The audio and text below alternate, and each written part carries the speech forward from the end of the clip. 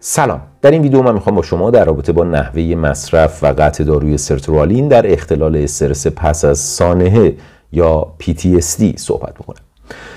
یادتون باشه که از اطلاعات این ویدیو در راستای افزایش آگاهی خودتون استفاده بکنید. برای مصرف یا تغییر دارو حتما باید از نظر متخصص استفاده بکنید.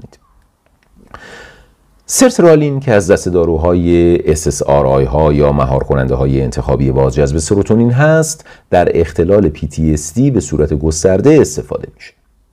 دوز اولیه و دوزی که درمان با شروع میشه در این اختلال 25 میلی گرم در روز هست که یک بار عموما صبح ها مصرف میشه. البته در بقیه مواقع روز هم میشه استفاده کرد فرقی نمی‌کنه فقط باید روزی یک بار مصرف بشه اما بیشتر توصیه می‌کنن که صبح ها مصرف بشه.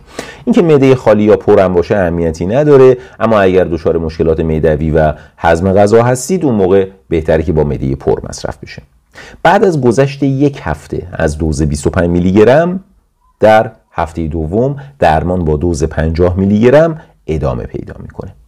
عموما میزان استفاده این دارو و دوز در واقع نگهدارنده این دارو بین 50 تا 200 میلی گرمه. دوز نگهدارنده دوزیه که درش درمان شکل می‌گیره که در هر فرد می‌تونه متفاوت باشه. اما جایی بین 50 تا 200 میلی گرم در رابطه با این دارو درمان شکل می‌گیره و بیشتر از 200 میلی گرم هم در رابطه با اختلال PTSD تجویز نمیشه.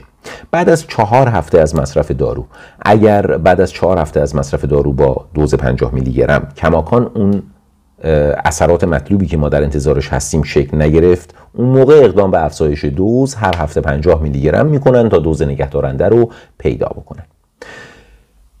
بعد از اینکه درمان شکل گرفت شیوه قطع دارو به کاهش تدریجی دوز در هر هفته در واقع ختم میشه.